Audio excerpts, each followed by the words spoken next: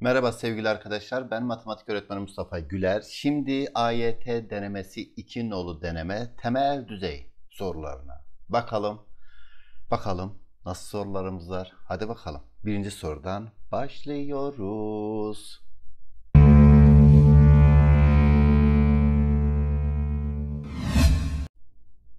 Evet. Ne diyor arkadaşlar? X, Y, Z tam sayılar. Arkadaşlar ben tam sayı dendiği zaman değer yazarım. Kusura bakmayın. Değer yazarım. Çünkü tam sayılarda değer yazılır. Şimdi burada x çarpı y'nin 5 olduğu bize 15 olduğu verilmiş. Burada da x çarpı y var. Dikkat ettiniz mi arkadaşlar? Şöyle bir şey. x çarpı y çarpı z eşittir 150 denmiş ya. Şu ifadeyi tuttum. Yukarıya çektim. Şimdi x çarpı y'nin 15 olduğu veriliyor. Altına 15 yazdım. Arkadaşlar z buradan ne çıktı? z buradan 10 çıktı. Çünkü 15'ten neyin çarpımı 150'dir? 10'un z'yi 10 buldum. Şimdi şunu çekeyim. y çarpı z eşittir 50 imiş. E sen z'yi 10 bulduysan y neye eşittir? Hocam y de 5 eşittir.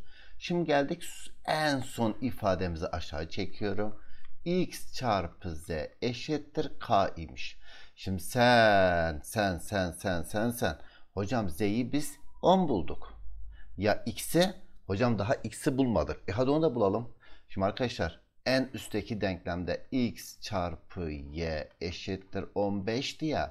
Şimdi sen y'yi 5 bulmuştun. O zaman buradaki x ne çıktı? Hocam otomatikmen 3 çıktı. Tamam. Çarpımları neye eşittir? Hocam çarpımları 30'a eşittir. Şıklardan 30'u bulurum ve işaretlerim. Olay anlaşıldı mı arkadaşlar? Tamamıyla değer yazma. En üstteki şeyi e, satırı tuttum. Şuradaki x çarpı y yerine yazdım. Z'yi buldum. Sonra şunu çektim. Hmm. Y çarpı z 50 ise e, z'yi sen 10 bulduysan y e, 5 çıktı. Sonra şu üstteki satırı bir daha buraya yazdım. Y 5 ise X 3'tür. Tamam. K'yı istiyor. K da buradan 30 çıktı. İki nolu sorumuz. En çok hoşuma giden soru tarzı arkadaşlar. Gerçekten. Çünkü her şeyin tanımını kendisi bize vermiş. Bu tanıma göre soruyu çözmemi istiyor. Diyor ki küçüklük büyüklük bak görüyor musunuz? Küçüklük ve büyüklük AB. Tamam. Ve diyor ki AB iki basamaklı bir doğal sayıymış. İfadesi eğer diyor e, A artı B bir basamaklıysa sonuç A artı B. Yani bunun sonucu A artı B. Ama ne zaman? Bir basamaklıysa. Yok. Diyor ki A, A, B iki basamaklı sayısı. A artı B'yi topladım. Sonuç iki basamaklı çıktı. İki basamaklı çıktıysa bu sefer o toplanan ifadeyi aynı şeyin içine yaz. Yine topla. Mutlaka bu bir yerden sonra bir basamaklı çıkacak diyor. Olay anlaşıldı mı? Şimdi 48 rakamlar toplamı ne? 12. Bakın 12 içeri gelmiş. 12 rakamlar toplamı ne? 3. Soru bitmiştir. Şimdi benim bu AB'm eğer 4 ise şimdi şuna göre hesap yapalım. Dedim ki eğer senin bu AB'n eğer 4 ise şu birinci ifademiz olsun. Şu ikinci ifademiz olsun. Birinci ifadeye göre A artı B direkt olsun. Tamam. Yani A artı B neye eşit olsun arkadaşlar? 4'e. Bu bizim birinci ifademiz. E hocam A, A. Şu AB tamam.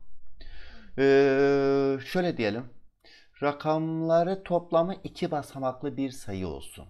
Hocam iki basamaklı bir sayı ne var? Rakamları yine toplamı 4'ü verecek şekilde. Hocam 13 var. 13'ün rakamlar toplamı ne? 4. Hocam 22 olmaz mı? Hayır arkadaşlar. Rakamlar toplamı A artı B'nin alacağı maksimum değer zaten biliyorsunuz 18. 18 9'a 9 deseniz 18 olur. O zaman A ve iki basamaklı sayısının rakamlar toplamı 13. 13 dışarıya 4 diye çıkabilir. Yani şuradaki A artı B. Evet, evet, evet. Dedim ki ya 4'tür çizgi A artı B ya 13'tür. Başkası imkansız. Değer yazalım hocam. 1'e 3, 2'ye 2, 3'e 1, 4'e 0. Burada kaç tane değer bulduk arkadaşlar? 4 tane değer buldum. Rakamlar toplamı 13 olan hadi bakalım 9'a 4. Başka. Başka değerler söyleyin. Hadi hadi hadi hadi hadi. Hocam 8'e 5. Başka. 6'ya pardon 7'ye 6. Karıştırmayalım bunları. Çünkü sırayla gidiyorum. Sırayla gidiyorum. Sırayla gidiyorum. Hocam 7'ye 6. Başka. 6'ya 7. Başka. 5'e 8. Başka. 4'e 9. Bir sayar mısınız arkadaşlar? Burada kaç tane değer var? 1, 2, 3, 4, 5, 6. Burada da 4 tane var. Ette kaç tane arkadaşlar? Ette 10 tane. Güzel bir soruydu. Çözümünü bu şekilde yapmış oldum. Gerçekten güzel bir soru arkadaşlar. Güzel. E hadi geldik 3 nolu sorumuza. 3 nolu soru arkadaşlar tamamıyla soruyla konuşma oluyor. Ben sana her zaman diyorum ya soruyla konuş. Şimdi soruyla konuşacaksın. Soruyla konuşmadığın sürece bana bu soruyu çözemezsiniz. ABC çarpımını alacağı en büyük değer kaçtır? Tamam. ABC. ABC kimlerden oluşuyormuş? Birden 8'e kadar olan sayıların tamamı aralarında toplama ve çıkarma sembolleri var. Görüyor musunuz arkadaşlar? Toplama, toplama, çıkarma, çıkarma, çıkarma. İşin ilginç tarafı şu ABC'nin hepsinde önünde çıkarma var. İşte bu bana kolaylık sağlayacak. Çünkü birinin önünde toplama, birinin önünde çıkarma varsa işin içinden ben çıkamazdım. Çünkü onlar da kendi arasında yer değiştir. Ama hepsinin önünde eksi varsa sıkıntı yok. Hangisi A, hangisi B, hangisi C olduğu önemli değildir. Şimdi bana çarpımını en büyük mü istiyor? Şıklara bakalım. En çok ne var? 90 var. Hocam A çarpı B çarpı C 90 olsun. 90 15'ten 6'nın çarpımı. Yani 3 çarpı 5 çarpı 6. E diğerini yazalım. Hocam A'ya 3. Aa. Biri 3 olsun. Biri 5 olsun. Biri de 6 olsun. Bakalım bunların işleminin sonucu 8'i verecekse o zaman A, B, C'nin çarpımı 90 olabilir diyeceğim.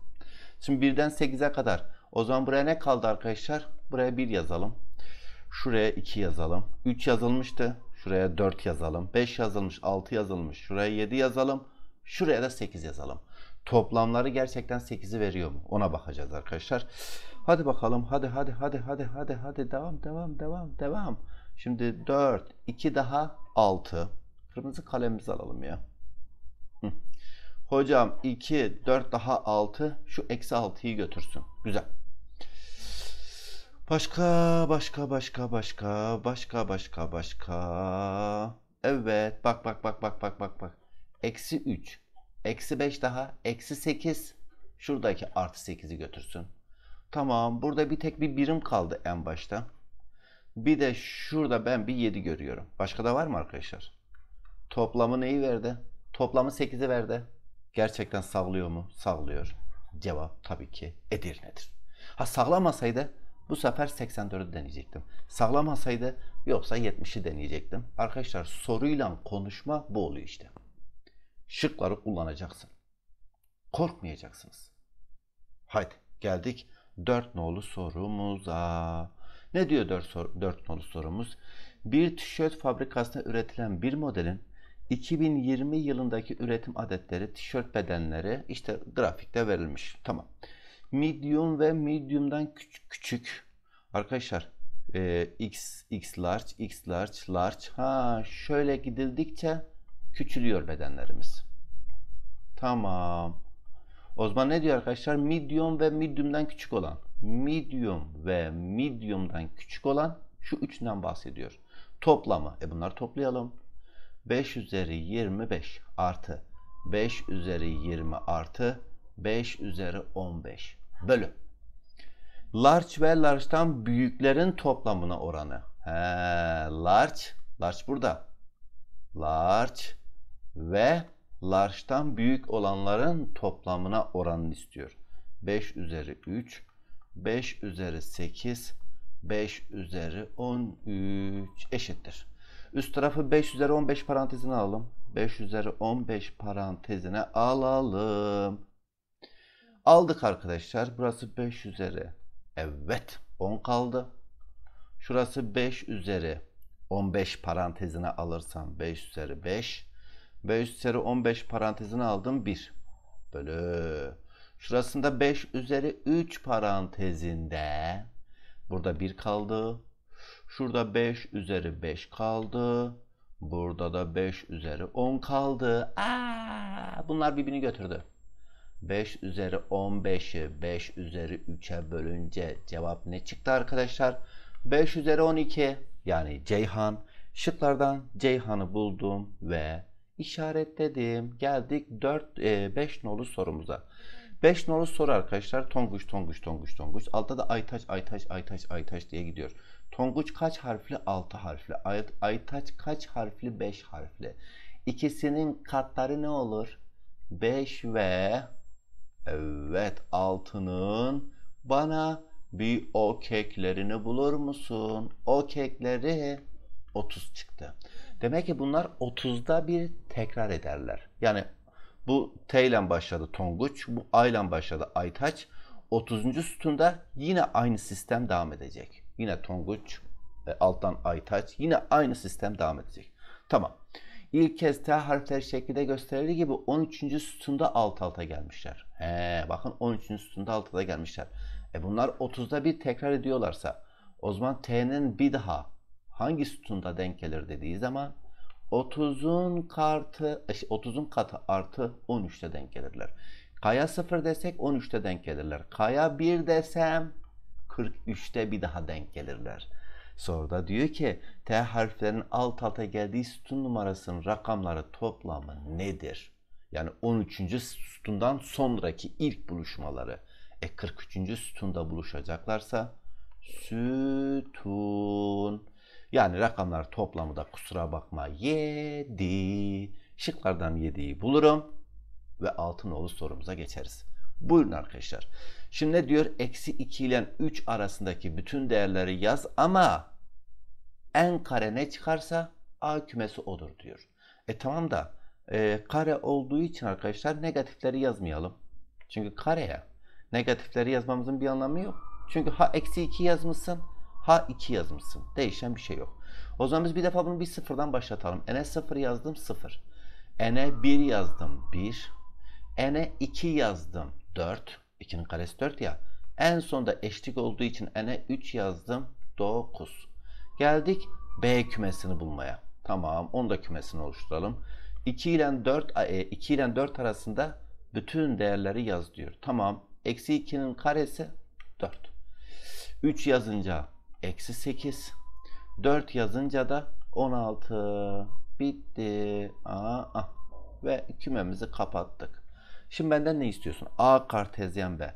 A kümesi kaç elemanlı? A kartezyen B'nin eleman sayısının formülü şudur. SA çarpı SB'dir. SA 4 elemanlı. SB 3 elemanlı çarpımı 12 elemanlı olur. 20 diyor. Yalan söylüyor. Yalan. Yalan söylüyor arkadaşlar. 20 olamaz. Devam edelim.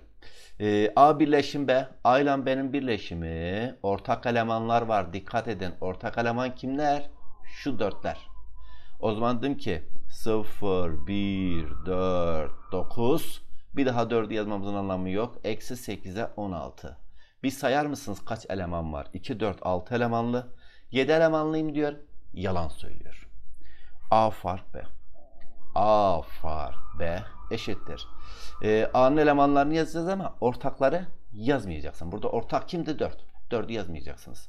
0, 1, 9. 3 elemanlıdır doğru. Yani yalnız 3 cevap Bursa. Şıklardan B'yi buldum ve diğer soruma geçtim. Diyor ki yukarıdaki verilen ven şeması ile A, B, C kümeleri verilmiş. Buna göre hangileri doğrudur diyor. Birincisinden başlayalım. Turuncu boya. Turuncu dediği arkadaşlar şurası. E belli. Bu C fark A birleşim B'dir. Çünkü C'den şu A ile görüyor musunuz? Şu B'yi tamamıyla çıkarmışlar. Bakın çıkarmış, çıkarmış. Yani bu bu olacak. E doğru mu yapmışız bakalım bir. C fark A kesişim B diyor. Yalan, yalan, yalan, yalan. Silgimizi alalım. Birinci öncülümüz yanlış. Şimdi sıra geldik arkadaşlar. ikinci öncülümüze. Evet, evet, evet. Bu buydu. Zaten yazdım. Diyor ki mavi ile boyalı alan. Mavi dediği yer arkadaşlar şurası. Tamam. Bunu da hemen ifade edelim. Bu da A kesişimce. A kesişimce. Fark.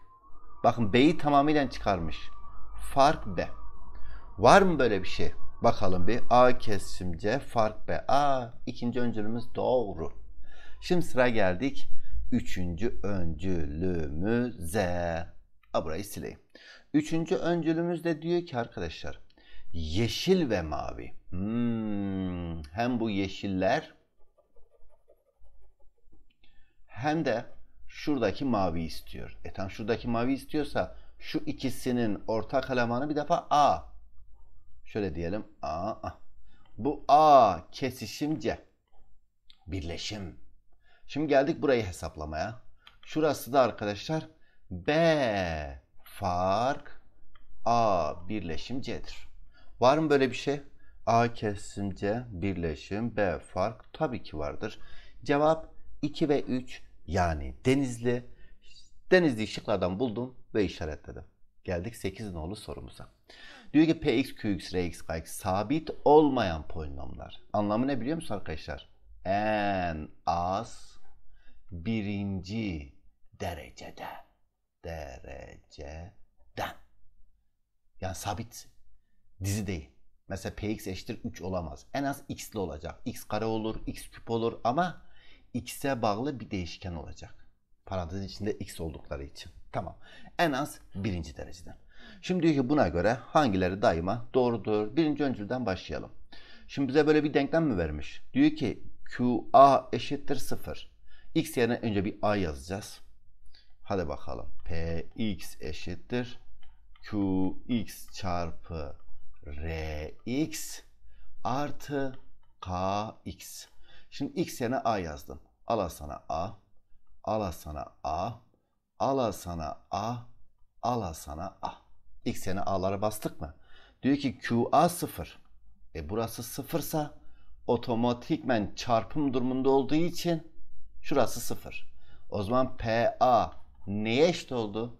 Hocam KA'ya. Birinci öncülümüz doğru. Geldik ikinci öncülümüze. KX birinci dereceden bir polinom ise Px en az ikinci derecedendir. Doğru söylüyor arkadaşlar. Niçin? Şimdi şu denklemde ben Px eşittir Qx çarpı Rx artı Kx değil miydi? Şimdi bu birinci derecedenmiş. Tamam. O zaman Px de Qx de şey Rx de her birisi de en az birinci dereceden değil miydi? Evet. Bu da birinci dereceden. Bu da birinci dereceden. Tamam. Birinci dereceden birinci bir dereceden sayının çarpımı x kareli bir şey olmaz mı? Yani ikinci dereceden bir denklem olur.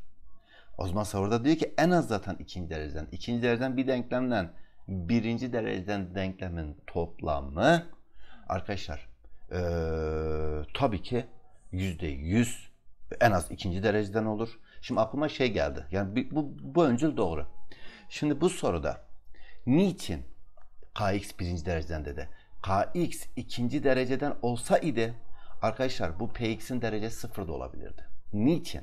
Eğer benim bu kx'im ikinci derecedense aklıma bir defadan o geldi. Aa, aa, aa burayı sildim.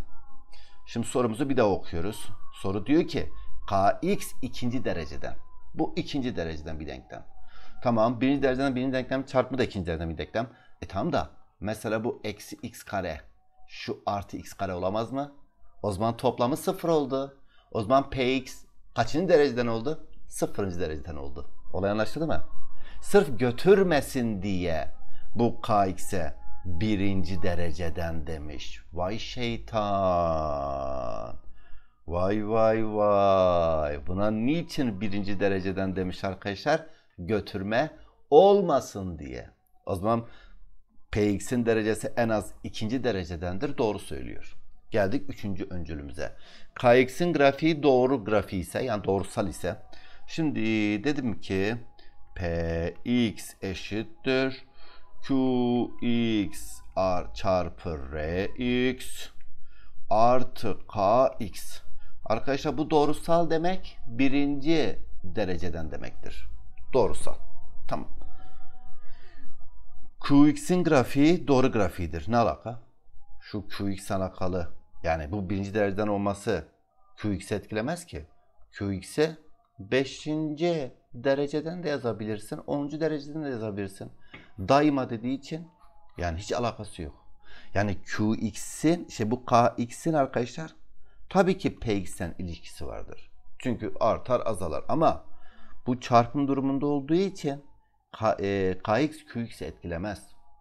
Etkileyemeyeceği için daima doğrudur diyemezsiniz. Bu 5. dereceden de olur, 10. dereceden de olur QX. Bunlardan hangisi doğrudur? 1 ve 2 doğrudur. Cevap Bursa. Şıklardan B'yi buldum ve işaretledim. Aziz Allah ezan okunuyor. Ben diğer soruya geçeyim. Minik bir bekleme yapayım. Ezan bitsin. Devam ederiz. Evet arkadaşlar. Ne diyor? C'nin en küçük değeri nedir diyor. Güzel. Şimdi mutlak değer A eşittir 2 ise. Dedim ki ya A 2'dir çizgi ya da A eksi 2'dir. Doğru mu arkadaşlar? Evet hocam. Şimdi A 2 ise ben bu A'ya 2 yazmak istiyorum. O zaman mutlak değer B eşittir 8 mi oldu? İki durum var. Ya B 8'dir ya da B eksi 8'dir. Hocam A eksi 2 ise A'ya eksi 2 yazalım. Şimdi B'yi bulacağız. Mutlak değer B eşittir 4'ten iki durum var. B ya 4'tür ya da eksi 4'tür. Şimdi geldik en dipteki ifadeye bakmaya. Mutlak değer C eşittir. Hocam bakın bakın bakın bakın bakın. Bu A eksi B'ydi ya. Tamam A eksi B yazalım. Şimdi A 2 idi. B'ye 8 diyemezsiniz. Niçin? Çünkü farkı eksi 6 olur ki mutlak değer eksi 6'ya eşit olamaz. O zaman bu egale. Yani şu gitti. Benim 8 olması imkansız.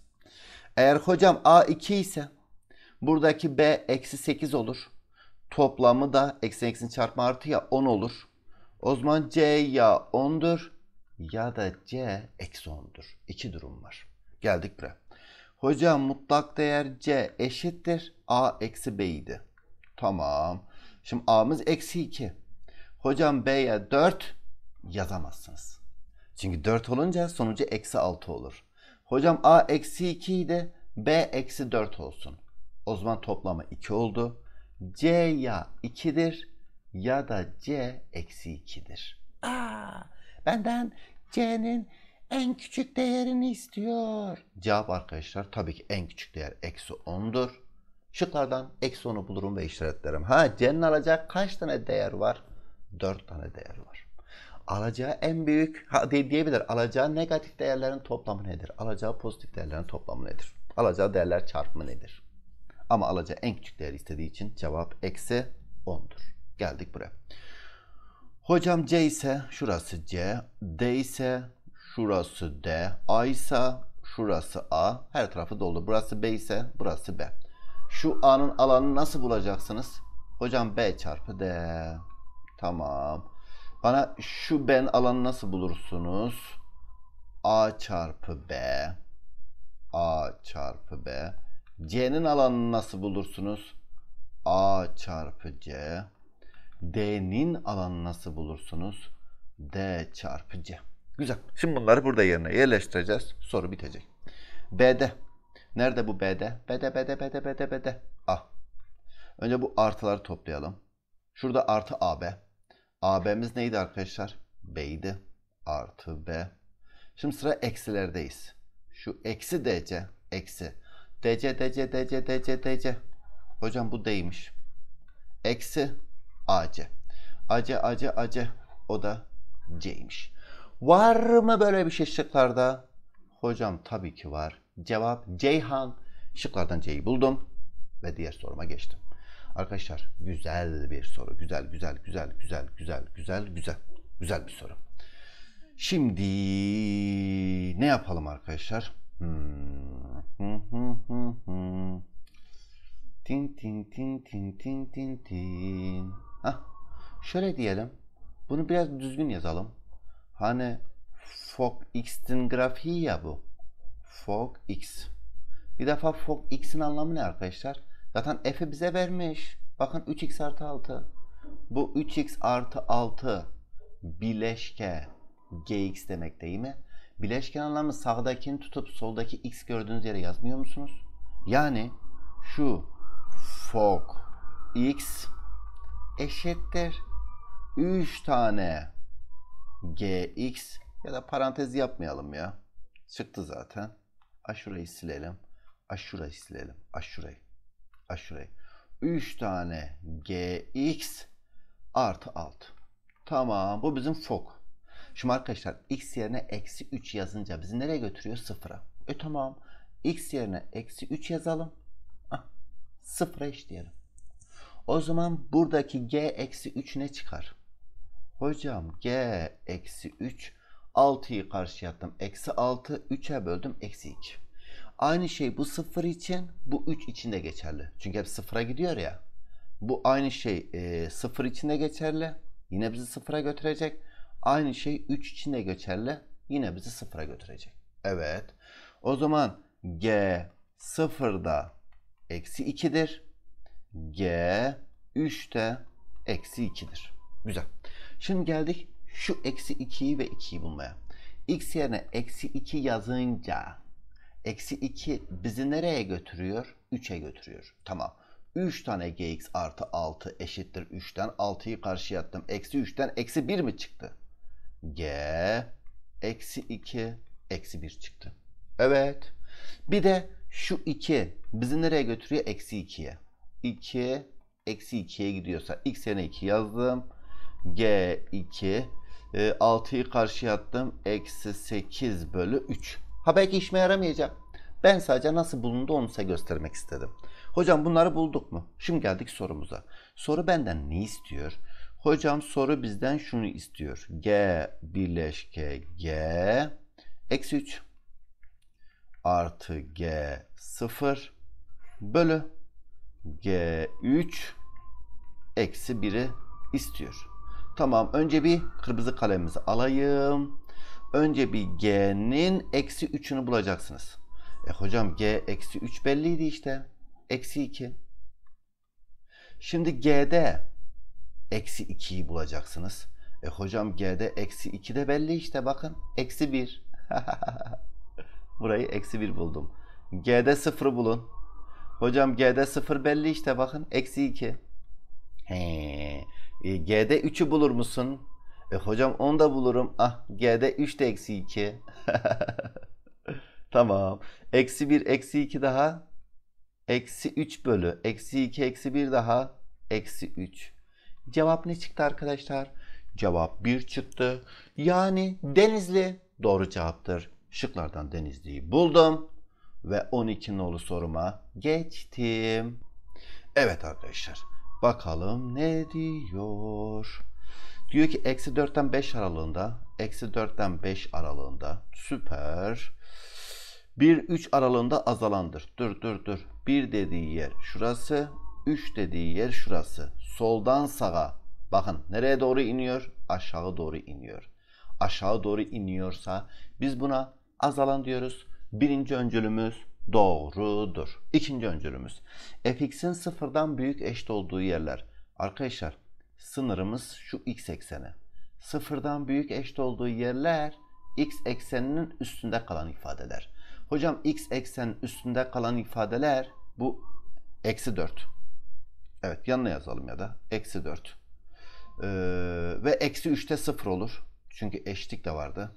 Bakın eşitlik de var. Dikkat ettiniz mi? Güzel. Eksi 1. Sonra 0. Ee, 1 ve 2. Başka da yok. Sayalım birkaç tane değermiş. Yani kaç noktada fx sıfırdan büyük eşitmiş. 1, 2, 3, 4, 5, 6. Ha benden toplamını istiyor. Özür dilerim. Toplamı eksi 1 artı 1'i götürdü. Şunların toplamı eksi 7. 2 ile topladım. Eksi 5. Ama kendisi eksi 4'tür diyor. Yalan söylüyor. O zaman ikinci öncülümüz yanlış. Üçüncü öncülümüz görüntü kümesi y eksendeki iz düşümüdür. Hocam y eksende iz düşümü bakın eksi 3'ten başlayıp 5'e kadar çıkacak. Arada hiç boşluğumuz yok. Eksi 3'ten 5 aralığı kapalı kutu. Aa, doğru cevaptır. Cevap 1 3'tür. Yani cevap Ceyhan. Şıklardan Ceyhan'ı bulurum ve işaretlerim.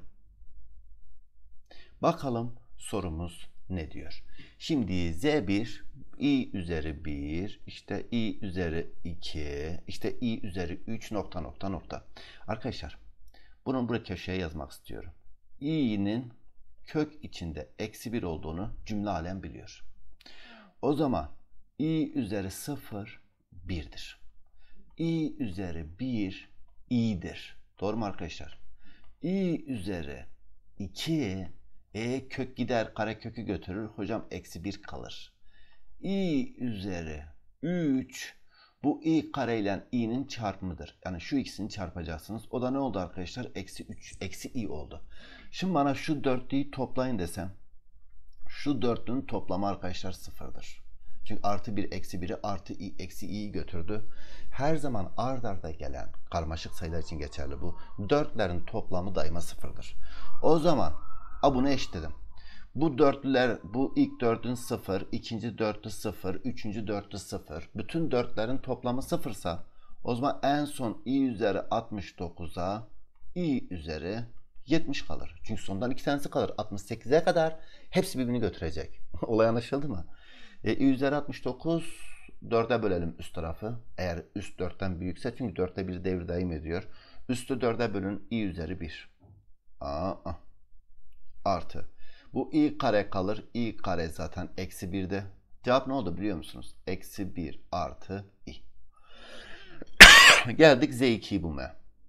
Aa, e bu e, i küp zaten eksi i'di. i üzeri 5 zaten i'dir. i üzeri 7 eksi i'dir. i üzeri 9 üst tarafı 4'e bölün kalan 1 yani i. Öndeki eksiden dolayı eksi i. Hocam bu bunu götürdü. Cevap eksi 2i. Şimdi ne diyor? Z1'in eşleniği. Arkadaşlar Z1'in eşleniği i'nin öndekinin işareti değişecek. Eksi 1 eksi i.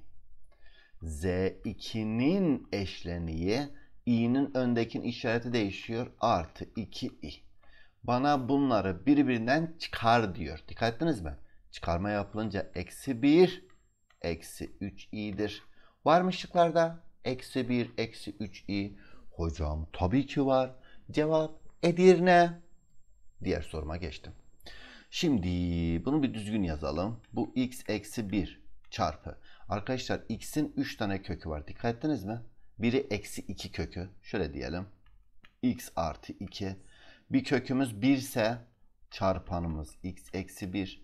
Bir kökümüz de 3 ise bir çarpanımız x eksi 3 bölü. x eksi 6. A bu ifade küçük eşittir 0 demiş. Sorunun orijinali bu arkadaşlar. Çünkü ben şuranın fx olduğunu biliyorum.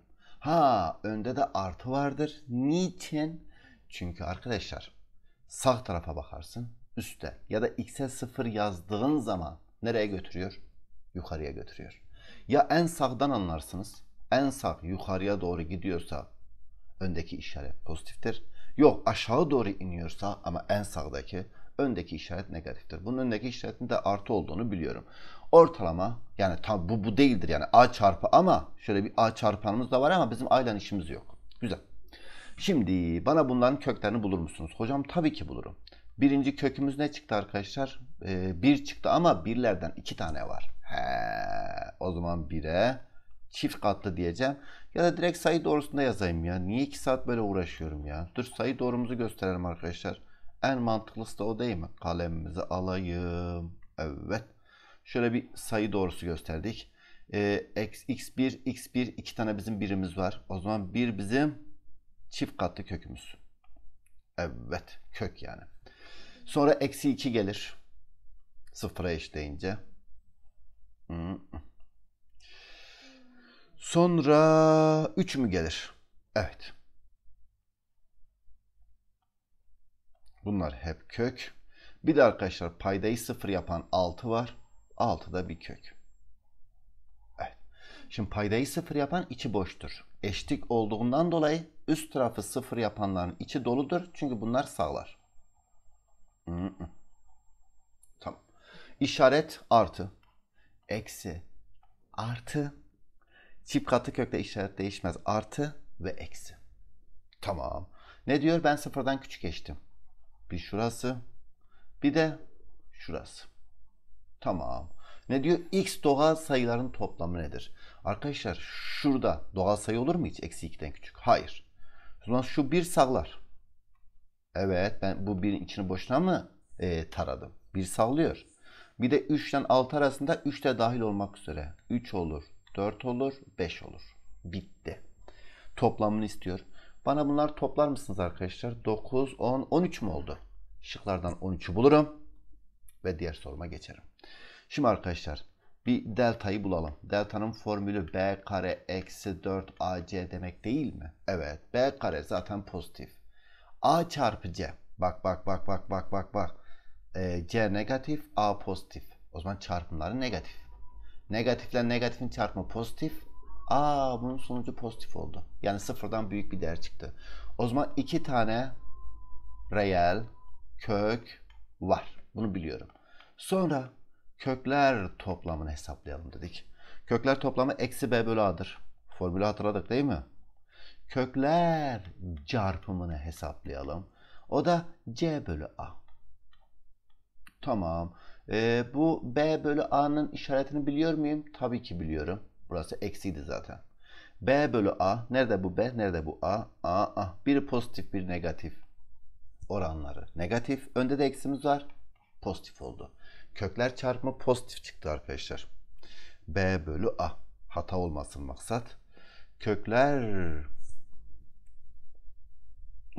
kökler toplamı demişim. Allah aşkına ya. Burası kökler toplamı diyorum. Ah, burası kökler toplamı ya. kökler toplamı diyorum. x1 çarpı x2 yazıyorum. Ay ay yorulduk arkadaşlar. Evet. Evet hadi son surat devam. Şimdi dedim ki kökler toplamı kökler toplamı. Bu da kökler çarpımı. Tamam. Kökler toplamı x1 artı x2. Tamam. eksi b bölü a'dan eksi eksinin çarpımı artı oldu. Kökler çarpımı c bölü a. Bir saniye. c negatif a pozitif. A burası negatif oldu. O zaman kökler çarpımı negatifse e, kökler çarpımı negatif. Bu doğru. Kökler toplam pozitif. Doğru. İki reel kökü var. Doğru. Negatif kök pozitif kökten mutlak derece büyüktür. Niçin? Kökler toplamı eğer pozitifse Allah aşkına negatif kök mü daha büyüktür? Pozitif kök mü daha büyüktür? Tabii ki pozitif kök daha büyüktür. Çünkü büyüğün işaret alınır. Bu ne diyor? Negatif kök daha büyüktür. Yalan söylüyor. Zaten biz neyi arıyoruz? Hangisi kesinlikle yanlıştır? Pozitif kök daha büyüktür. Doğru söylüyor. Olay anlaşıldı mı arkadaşlar? E hadi 11 eşi 16 nolu sorumuz. Logaritma sorusu.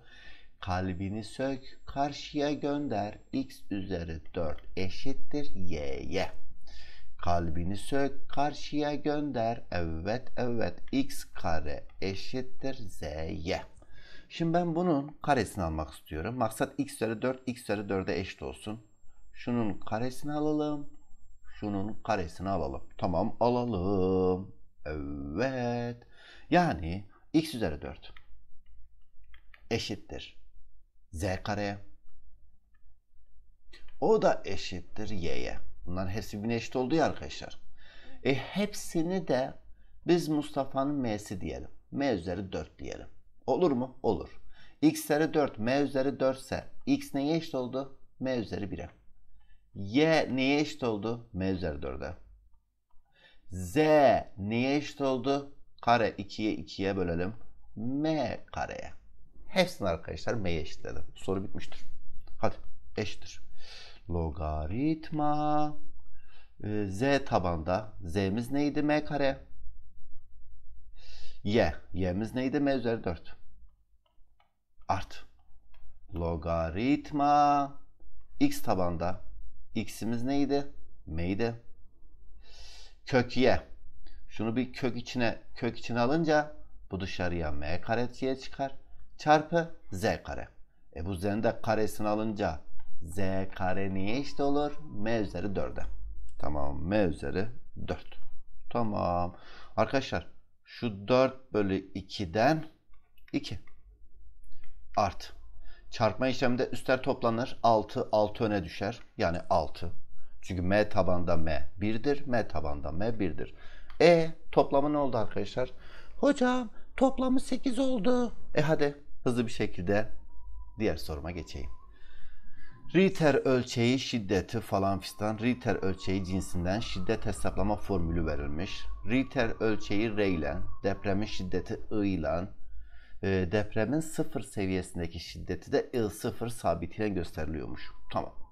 Ritter ölçeği 5,3 büyüklüğünde. Ha, şu Ritter ölçeği 5,3 büyüklüğünde eşittir. E, depremin şiddeti A'ymış. Şu şiddet logaritma A bölü I0. Diyor ki 2020 yılında Ritter ölçeği 4,3 4,3 logaritma depremin şiddeti de B'ymiş. B bölü I0. Tabanda gözükmeyen 10 var, tabanda gözükmeyen 10 var. Kalbini sök, karşıya gönder, kalbini sök, karşıya gönder. Logaritmalar ölür.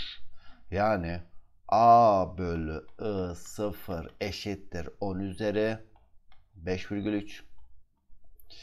B bölü I 0 eşittir 10 üzeri 4,3. Hocam bunları taraf tarafa bölelim. I0 I0'ı götürdü. A bölü B eşittir 10 üzeri 5,3'ten 10 üzeri 4,3 çıkarsa 10 üzeri 1 kalır. Ya ne konuşuyorsun işte cevap 10'dur. Şıklardan 10'u bulursun ve işaretlersin. Evet arkadaşlar sıra geldi 17 nolu sorumuza. Olasılık sorusu. Bir yüzeyinde sayı silinmiş olan dur dur dur dur dur dur dur Güzel. Bir yüzeyinde kalemimizi önce bir alalım. Bir yüzeyindeki sayı silinmiş olan standart bir zarım varmış. Zarda 1, 2, 3, 4, 5, 6 tane bizim arkadaşlar ee, biliyorsunuz rakam var. Diyor ki bir tanesi ama silinmiş. Bunlardan bir tanesi silinmiş. Bir yüzeyi silinmiş. Hangi yüzün silindiği belli değilmiş. Zar bir kez atıldığında zarın üst yüzeyine bir asal sayı gelme olasılığı kaçtır diyor. He, buna göre zar bir kez atılıyormuş. Tamam. Üst yüzeye asal sayı gelme. Şimdi arkadaşlar bir tanesi silinmiş belli. Şimdi silinen asal mı? Yoksa silinen asal değil mi? Onu ben bilmiyorum. Şimdi iki durum var. Evet. Ya silinen asal ya da silinen asal değil. Şimdi iki durumdan birini inceleyelim. Çarpı. Hocam silinen asal olsun. Kader ya bu. Tam da silinen asal. Aa, ah. Asal mı silindi? O zaman attığınız zaman şu altı tane durumdan bakın bu e, çöpe atılmıyor ha. Sadece silinmiş. Sayı yok ortada.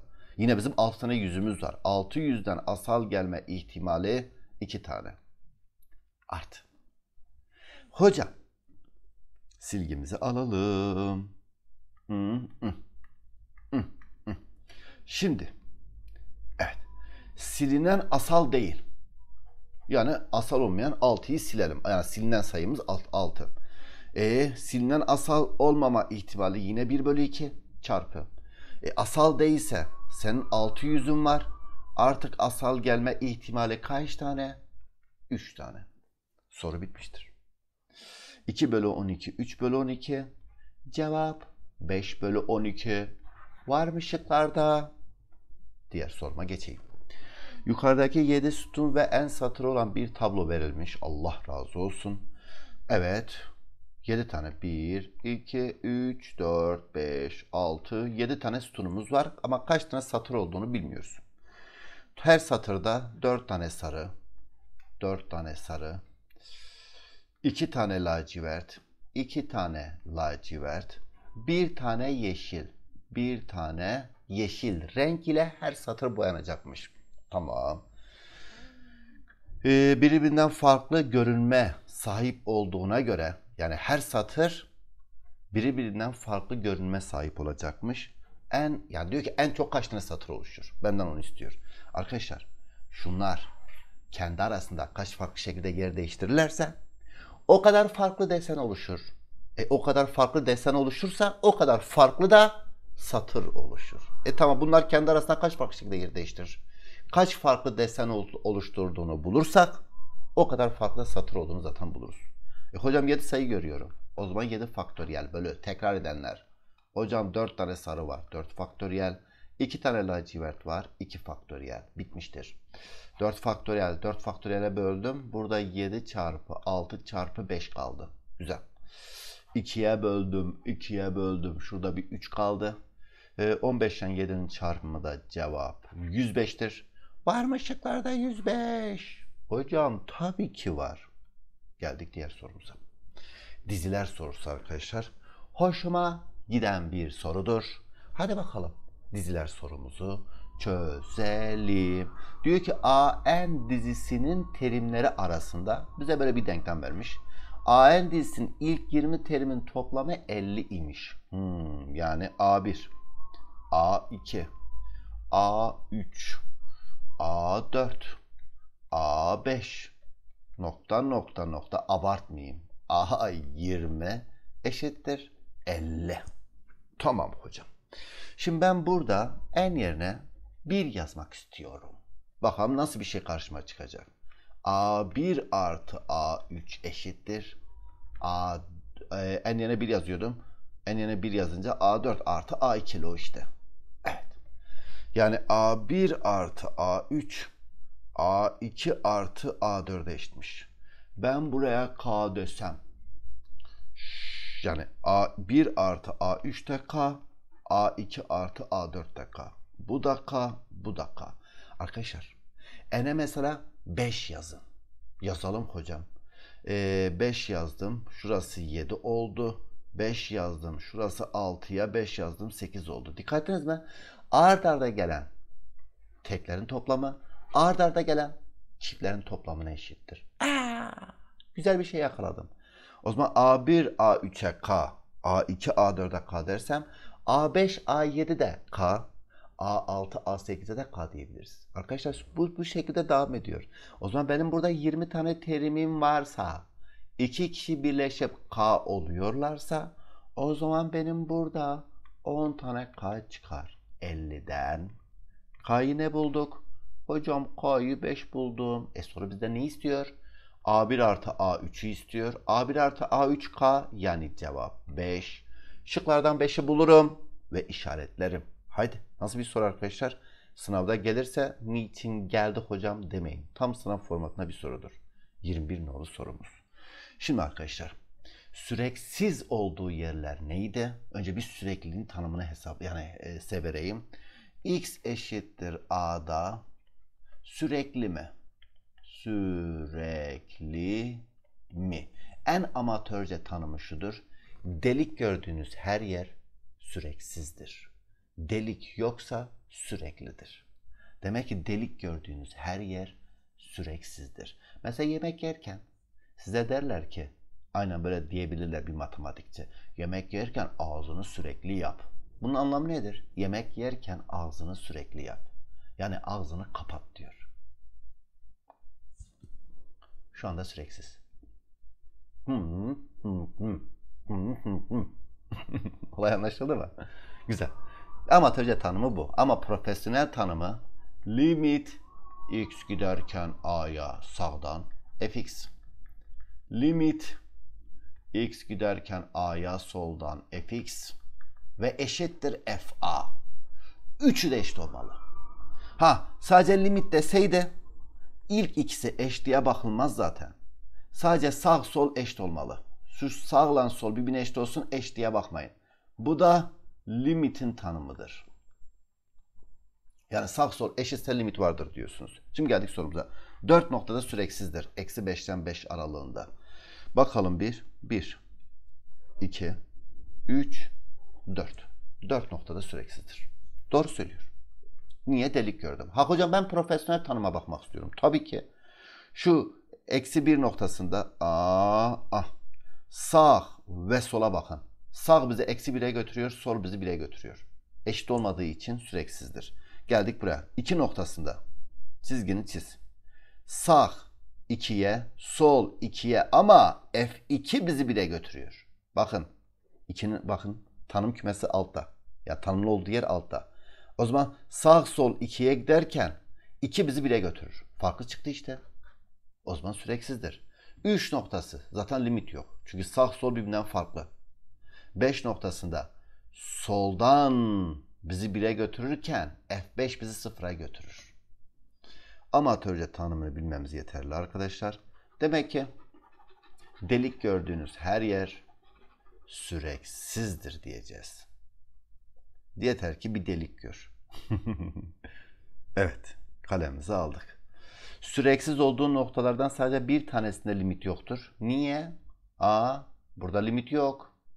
Bir de şurada da limit yok. Çünkü arkadaşlar sağ, sol birbirinden farklı çıkıyor. Tam da 3'ün olduğu yerde çizgini çiz. Aa, çizgimi çizdim. Sağ eksi 1'e, sol sıfıra gidiyor. Arkadaşlar limitin de amatörce tanımı budur. Ya iki nokta bu yanlış. Onu sana baştan söyleyeyim. Aa, iki nokta olması lazım. Ama adam biri bu nokta biri bu nokta. Yani biri şu nokta biri de şu nokta olmak üzere iki noktada da türevi şey limit yoktur. Sonra diyor ki bir noktada diyor yalan söylüyor. Şimdi arkadaşlar delik gördüğünüz her yer süreksizdir. Grafiğin koptuğu yerde limit yoktur. Bakın burada grafikte kopma var. Bakın burada grafikte kopma yok. Burada limit var. Ama burada grafikte bakın kopma var. Gördünüz mü? Kopma var. O zaman 3 oldu. 3'ün nok 3 noktasında da limit yoktur diyeceksiniz. X eşittir 2'de süreklidir. 2'de nasıl sürekli oluyor ya? Delik var ya. Bu da arkadaşlar yanlıştır. Hangisi doğrudur? Yalnız bir doğrudur. Şıklardan yalnız biri bulurum ve işaretleri. Olay anlaşıldı mı arkadaşlar? Hadi geldik 22 nolu sorumuza. Şimdi limitlerde arkadaşlar limit işte x giderken 2'ye dedim ki üst taraf sıfırdan farklı alt taraf sıfır. Bunun sonucu yoktur. Ama a sıfırdan farklı olmak üzere. Paydada sıfır görürseniz bunun sonucu yok. Ama hocam limit x giderken 2'ye altta sıfır üstte sıfır. Arkadaşlar bunun sonucu var. Sonuç çıkabilir. Anlatabiliyor muyum? 0 bölü 0'ın anlamı yani var olabilir olmayabilir de ama sonuca gidebilirsiniz. Çünkü arkadaşlar bir daha 0 bölü 0 çıkabilir. Yine sadeleştirme yaparsınız. Bir daha 0 bölü 0 çıkabilir. Yine sadeleştirme yaparsınız. Ama hemen bundan sonra sonuç çıkacak diye bir şey yok. 0 bölü 0. Şimdi a bölü 0 tanımsız zaten. Ama 0 bölü 0'ın anlamı şu. Diyor seni uğraştıracağım. Sadeleştirme yaparak seni sonuca götüreceğim. Ö, sıkıntı yok. Tamam. Tamam. Ha bunu da şu yani şunu da demek istiyorum. Silgimi alayım. Aa, X giderken A'ya dedim. Tamam hocam dedik. Şimdi A bölü 0 eşittir B dedim. E sonuç varsa bu A %100 sıfır olmalı. Yani şu A %100 sıfır olacak. Ki 0 bölü 0'ın sonucu vardır. Sayı bölü 0 yok zaten. Şimdi geldik bizim buraya. Ne demiş arkadaşlar? Limit x giderken 2'ye fx. fx zaten bize vermiş. Yazalım. x kare artı ax artı 6 bölü x eksi 2 eşittir b'ymiş. Öyle diyor. Eşittir b. Şimdi x'e 2 yazdım. Payda 0 oldu. O zaman kusura bakma da üst tarafta 0 olmalı. %100. O zaman üst taraf 0 olacaksa x yerine 2 yazıp 0'a eşitler misiniz? Tabii ki hocam x yerine, şey, x yerine 2 yazıp 2 yazdım 4 artı 2a artı 6 eşittir sıfırdan a'yı ne buldum? Hocam a'yı eksi 5 buldum. Tamam. Bunu çarpanlarına ayıralım. Limit x giderken 2'ye bu x eksi 2'ye x eksi 3 bölü çarpanlarına ayırdık ya bölü x eksi 2 eşittir b'ymiş. Şu x eksi 2 x eksi 2 götürdü. x yerine 2 yazdım. Hocam b'yi de eksi 1 buldum. E tamam soru bitti. Soru benden ne istiyordu? Ben a'yı da eksi 5 bulmuştum. Soru bizden a artı b'yi istiyor. Cevap tabii ki eksi 6'dır. Şıklardan eksi 6'yı buldum ve işaretledim. Olay anlaşıldı mı arkadaşlar? Mantık bu, olay bu. E hadi 23 nolu sorumuz. Şimdi arkadaşlar fx'in 3 noktasında bana eğimini bulur musun? Yani f türev 3. Tamam bu D1'in eğimi. Yani m D1. Çünkü bize teğeti boşuna çizmemiş ya. Evet. M D1 diyelim. Yani D1 doğrusunun eğimini bize verir. G'nin türevi 6'yı bulur musunuz? Yine teğet geçmişse arkadaşlar her zaman türeve bakacaksınız. G'nin türevi 6 eşittir. O da M D2. Evet. Bu da M D1'di. Bir şey benim dikkatimi çekti. Hocam sizin de her şey dikkatinizi çekiyor ya. Arkadaşlar sen de dikkatini çekecek. Bu D1. Şimdi bu D1 ile D2 doğruları birbirine ne arkadaşlar? Dik. Bakın D1 ile D2 doğruları birbirine dik. O zaman birbirine dikse eğimleri çarpımı eksi 1'i vermesi lazım. Hani bunlar eğimdi ya. Tamam çarpalım eksi 1'e eşitleyelim. F'in türevi 3 çarpı G'nin türevi 6 eşittir. Eksi 1'den ee, G'nin türevi 6 F'in türevi 3'ü istiyormuş. F'in türevi 3 eşittir. Eksi 1 bölü G'nin türevi 6'ya. Yani cevap Denizli'dir. Evet geldik diğer sorumuza. Bir f fonksiyonu için x eşittir a apsisi nokta tanımlı değilse e tanımlı değilse arkadaşlar türevli değildir doğru söylüyor. Tanımlı yoksa nasıl türevli olacak? Arkadaşlar türevin tanımı şu. Birincisi sürekli olacak. Sürekli olacak. Eğer sürekli değilse zaten türev yok. İkinci tanımı da şudur. F'in türevi A hangi noktaysa sağdan eşittir F'in türevi A'ya soldan. E bir de sağ ve sol türevleri de eşit olacak. Şimdi ne diyor? F fonksiyonu x eşittir A'da tanımlı değil. E tanımlı değilse şöyle bir şey düşünelim arkadaşlar. Geliyor, boşluk var, yine boşluk var, devam ediyor. A, Şu bizim A noktası. A noktası tanım var mı? Yok. tanım yoksa sürekli değil ki. sürekli değilse türev yoktur. X eşittir A noktası sürekli değil. E türevli de değildir. Doğru söylüyor. Doğru söylüyor. Evet. Sürekli de değilse türevli de değildir. F fonksiyonu türevli olduğu her noktada süreklidir. Zaten türevin tanımlı tanımı neydi? Türevin tanımı sürekli olacak. O zaman türevli ise süreklidir. O da doğru. Bunlardan hangileri doğrudur? Tabii ki 1, 2, 3'ün hepsi doğrudur. Geldik diğer sorumuza. Şimdi arkadaşlar şu yalnız yani mat matbaa hatasından bu türevler olmayacak. Onu sana baştan söyleyeyim. Şimdi negatif tanımlı demek şu anlama gelir. X'in sol tarafında grafik. Biz buna negatif tanımlı diyoruz. Aa. Sonra dedi ki pozitif değer. Değer demek arkadaşlar şu üst tarafta olacak. Hem negatif tanımlı bu da üst taraftaysa biz buna değer pozitif diyoruz. Pozitif değerli. Niçin? Çünkü arkadaşlar gittiği yerler biz değer diyoruz. Yani y ekseni bizim değerimiz oluyor. O zaman y ekseni bizim değerimiz ise o zaman üst tarafta olmalı. Güzel. Şimdi bu şık egale. Onu sana söyleyeyim. Çünkü sağ tarafta bu pozitif tanımlı. Biz negatif tanımlıya bakıyoruz. Bir de arkadaşlar c küçüktür d ise şimdi fc küçüktür fd ise biz buna artan diyoruz. Çünkü D yani DC'den büyük ya e, görüntüsü de yani değeri de büyükse biz buna artan deriz. Yok hocam CD'den küçük E ama FC daha büyük. Oha. O zaman bu azalandır. O zaman cevap Bursa. Çünkü arkadaşlar şurası C. Şurası D. Çünkü CD'den küçükmüş ve C ve D AB aralığındaymış. E burada gördüğünüz gibi C'nin gittiği değer mi daha büyük, D'nin gittiği değer mi büyük? Bu FC, bu da FD. Hocam FC daha büyüktür. Yani tam tersi oluyorsa biz buna azalan diyoruz. Soldan sağa mal nereye doğru iniyor? aşağı doğru iniyor. Aşağı doğru iniyorsa bu bir azalandır. Cevap Bursa'dır. Şıklardan Bursa'yı bulurum ve işaretlerim. E hadi geldik diğer sorumuza. Güzel bir soru arkadaşlar. Burada benim bir şey dikkatimi çekti. Bir bizi nereye götürüyor? Bire götürüyor. Arkadaşlar bir bir kritik nokta doğrudur. Şimdi alttaki e, bizim yani birden küçükleri için şu birden küçükleri için grafiği görüyor musunuz arkadaşlar?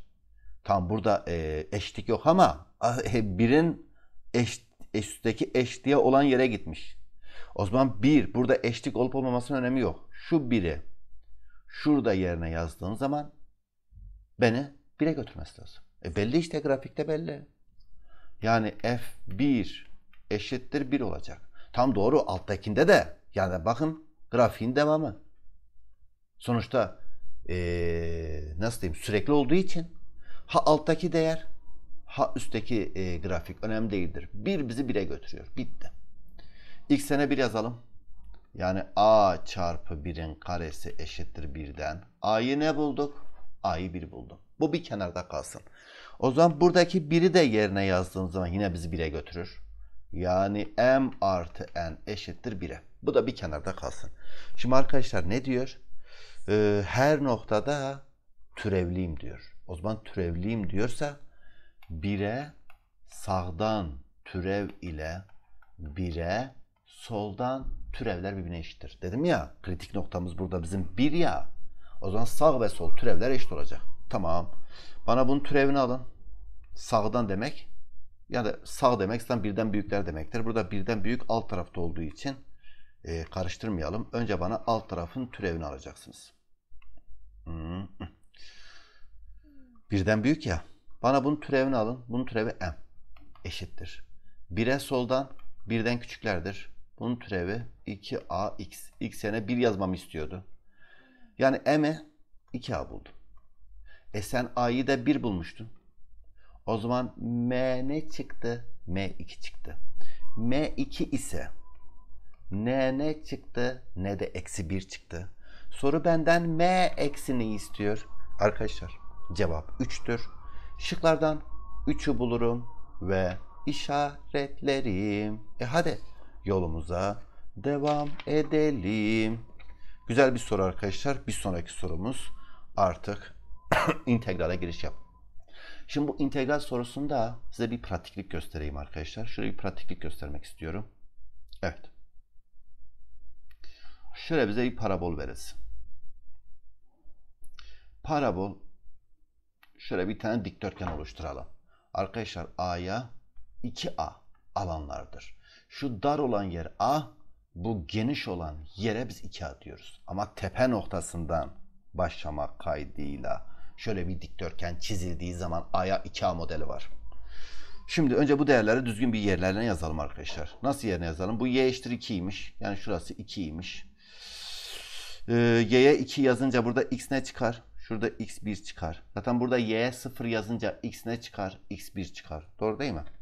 Tamam. Burada x'e 0 yazınca y ne çıkar? y'si 1 çıkar. Bütün değerleri bulduk arkadaşlar. Silgimi yine alıyorum. Bu sıfırları mıfırları yazmayayım. Tamam. Kalemimi yine aldım. Şu x eşittir 2 doğrusu. Yani şurası 2. Tamam. Şimdi önce buraya odaklanalım. Neye odaklanalım? A şuraya.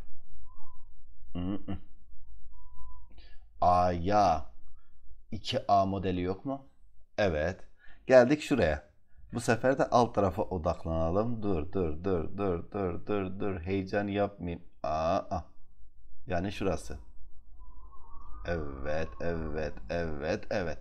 Burası da B'ye 2V değil mi? İlle de A'ya 2A yazmamıza gerek yok ki. Tamam. Soru bitmiştir. Nasıl soru bitmiştir arkadaşlar? Şu 3A neye eşittir? Taban 1, yükseklik 1, alan 1. Yani 3A birden. A ne olur? 1 bölü 3. Şuradaki A'yı buldum. Buradan da bizden 2B istiyor ha.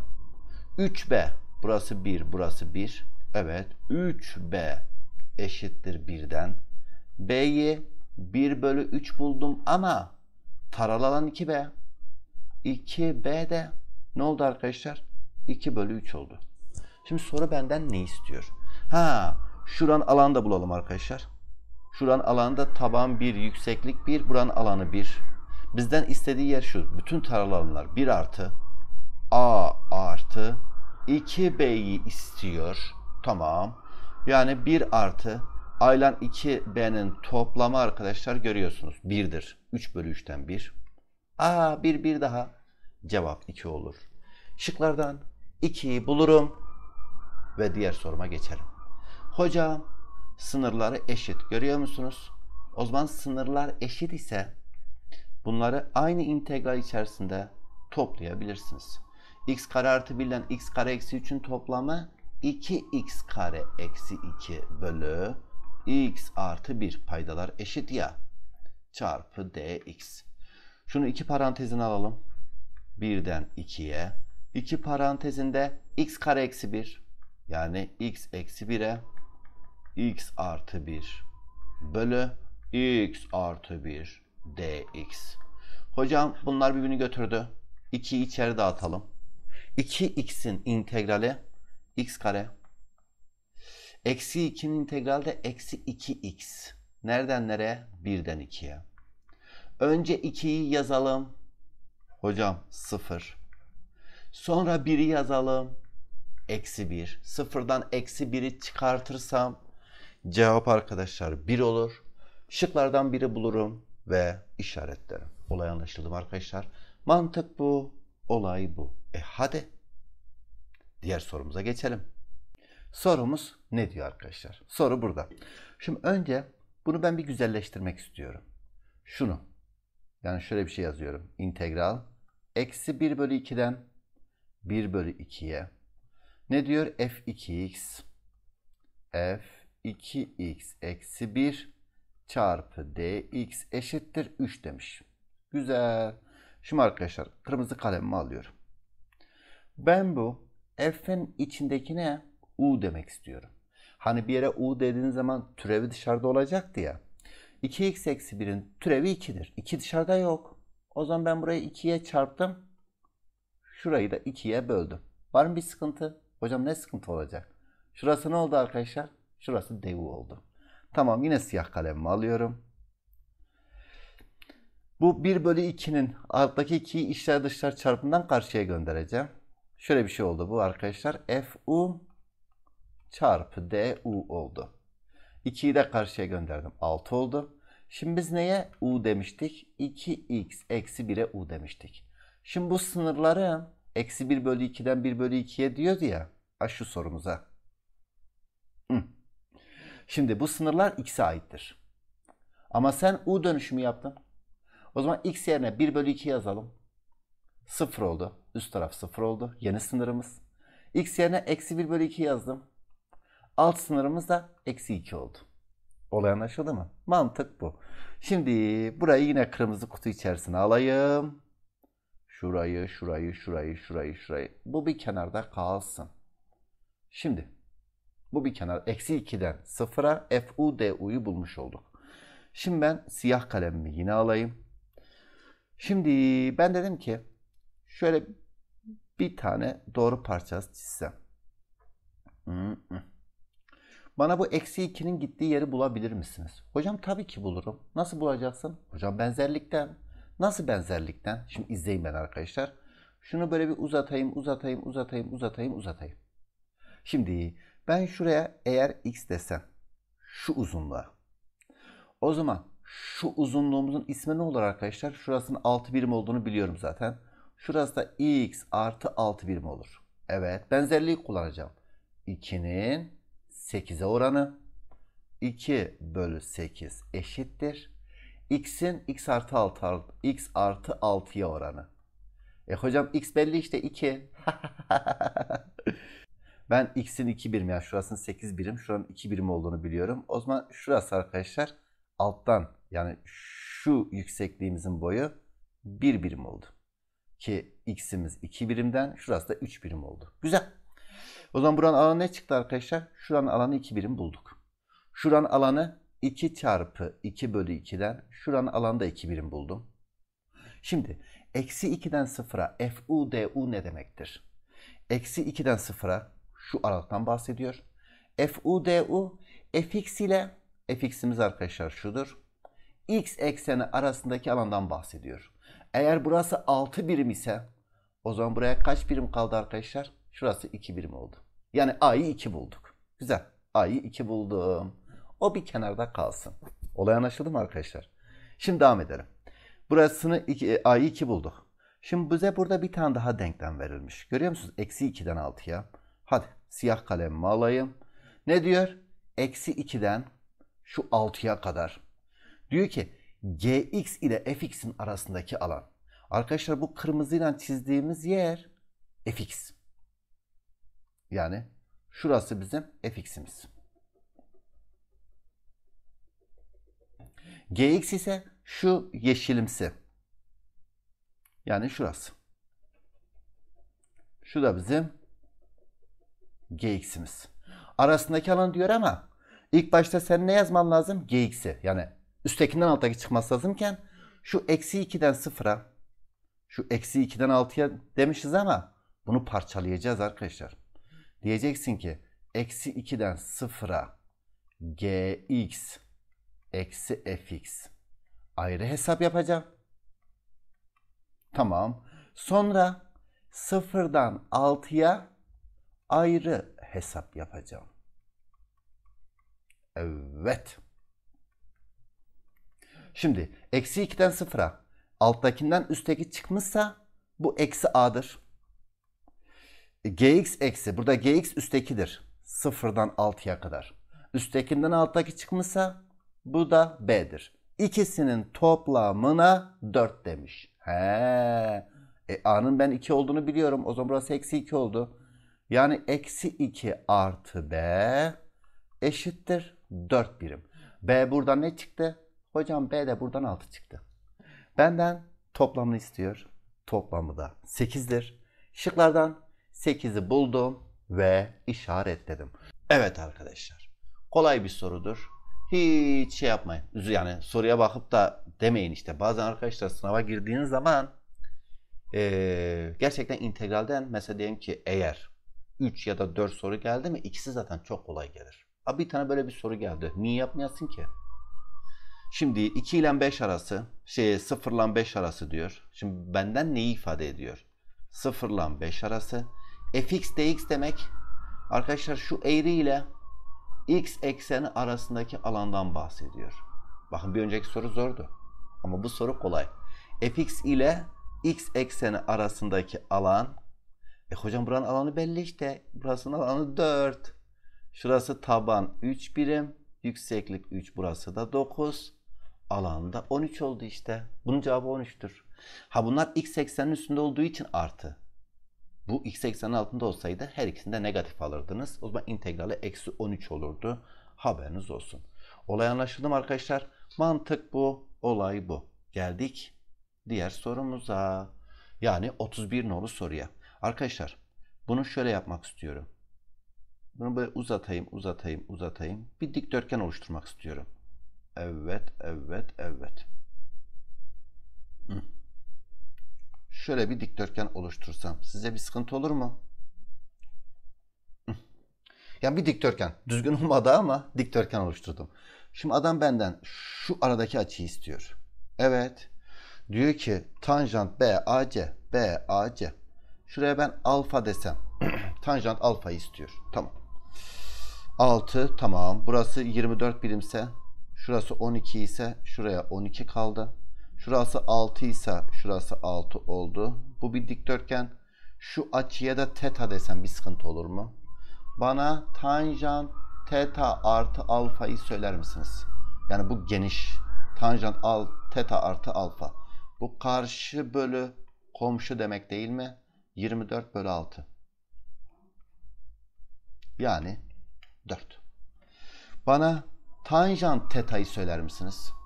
Tabii ki söylerim hocam. Karşı bölü komşudan 12 bölü 6'dan 2. Soru bizden tanjant alfa istiyor. Bundan sonra bence arkadaşlar soru bitmiştir. Tanjant alfa artı teta'nın açılımı. Tanjant alfa artı teta demek. Tanjant alfa artı tanjant teta bölü 1 eksi tanjant alfa çarpı tanjant teta demek değil mi? Tanjant alfa artı teta zaten belliydi 4 eşittir. Tanjant alfayı bilmiyorum. Mustafa'nın m'si diyelim. Tanjant teta 2 bölü 1 eksi x'in çarpımı 2m. A buradan m'i bulun soru bitmiştir arkadaşlar. İşler dışlar çarpımı yapalım. 4 eksi 8m eşittir m artı 2'ye. 9m 2'den cevap 2 bölü 9'dur. Yani cevap A şıkkı. Şıklardan A'yı buldum ve işaretledim. Toplam fark formülleri arkadaşlar. Tanjant alfa artı teta karşı bölü komşudan 4. Tanjant teta. Tanjant teta arkadaşlar aşı üçgene. Karşı onu da kırmızıyla size göstereyim. Belli zaten. Karşı bölü komşu. Karşı bu 12. Komşu bu 6. O zaman 12 bölü 6'dan 2. E, tanjant alfa artı teta'nın açılımını yaptım. E, tanjant teta belli zaten. 2 yerine yazdım. Sonuca gittim. Geldik 32 nolu sorumuza. 32 nolu sorumuz diyor ki dur dur dur dur dur. Bu 3 sin x'i bir fışt fışt yapalım mı? Yapalım. Hocam bu sin küpü s küp de yazalım. 2 saat yazmayalım. Artı ben bu biri sona saklamak istiyorum. En dibe atacağım. Karşıya atmayacağım. Dikkat edin. Dibe atacağım. Bu 3 tane sin kare artı 3 tane sin artı 1 eşittir 8'e. Bu sana bir şey hatırlatıyor mu? Hocam hatırlatmıyor. Ayva yedik. Çarpanlara aymaya hemen bak. Hatırlatıyorsa bu sin artı 1'in küpüdür. Eşittir 8'e. Neyin küpü 8'dir? Sin artı 1 2'den yani sin x'im 1 çıktı. Arkadaşlar sinüs ne? 1'dir. Sinüs 90 1'dir. Geldik son sorumuza. Şimdi bu O noktası ağırlık merkeziymiş. Yani şurası şurasına eşitmiş. Bu bir dikdörtgenmiş. Şurası şurasına paralelmiş. Şurası şurasına paralelmiş. O zaman paralelse kusura bakma da şurası da şurasına eşittir. Doğru değil mi arkadaşlar? Şimdi ben buraya x desem, ben buraya x desem. Hani eşit ya. Yani burası da burasına eşitse x x. O zaman ben buraya y desem benzerlikten şurası da 2y çıkar. Doğru mudur? Tabii ki doğrudur. Burası teta, burası alfa ise şuranın bana açısını söyler misiniz? Hocam alfa artı teta. E madem senden kotenjantı tanjantı istiyorum. Bana tanjant alfa artı teta'yı söyler misiniz? Tanjant alfa artı teta karşı bölü komşudan 2y bölü x. Evet 2y bölü x. Bana tanjant teta'yı söyler misiniz?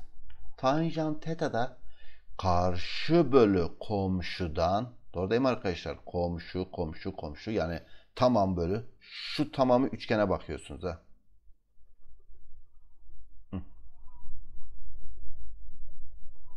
Şu büyük üçgene odaklanın. Tanjant teta demek karşı bölü komşudan 2y bölü 2x'ten.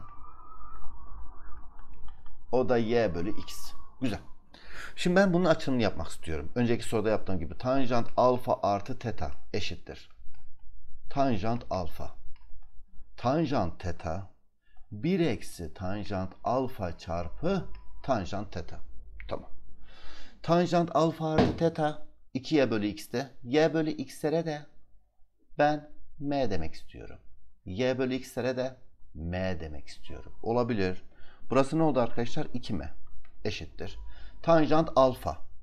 Ee, tanjant alfayı bize vermiş 1 bölü 3. Artı tanjant teta. Bakın o da m. Bölü 1 eksi ikisinin çarpımı. Yani m bölü 3.